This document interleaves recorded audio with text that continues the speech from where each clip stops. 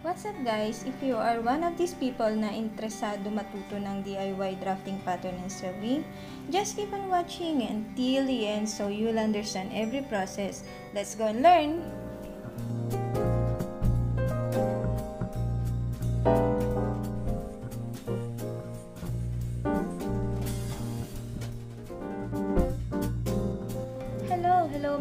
Friends! Welcome back to our channel. And we are here once again to tackle kung paano bumuo ng damit. And another part of it is sleeve. Whether we like it or not, if we are interested bumuo ng DIY clothes natin or even use it in our job, we have to learn even the basic drafting. Last time we discussed about basic bodies. So from there, we'll continue drafting basic sleeve. So we now take all the tools and let's get ready.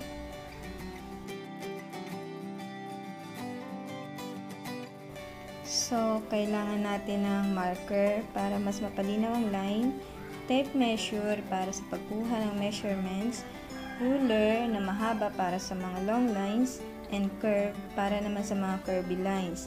And of course, ang ating pattern paper na hindi pwedeng mawala. At ang ating basic bodies nga pala sa mga hindi pa napapanood ang basic bodies video, better watch it first. So you have idea. At syempre, ang ating measurements. So, let's start now and keep on watching and enjoy!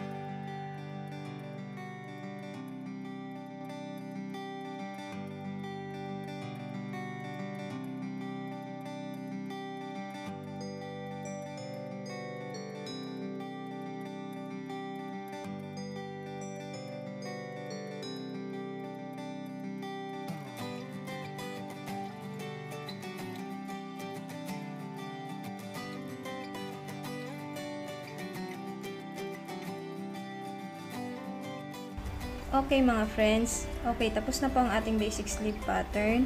At dadagdagan lang po natin ang mga gilid ng 1 cm seam allowance paikot.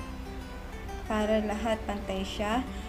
Kahit na magupit natin may allowance pa rin siya. And sa inyo mga friends please please please kung meron man po kayong mga katanungan suggestion or any comment just comment down below or visit us sa aming Instagram at Facebook account Thank you for watching and please don't forget to subscribe and give us a thumbs up friends so you'll be notified sa mga videos na darating.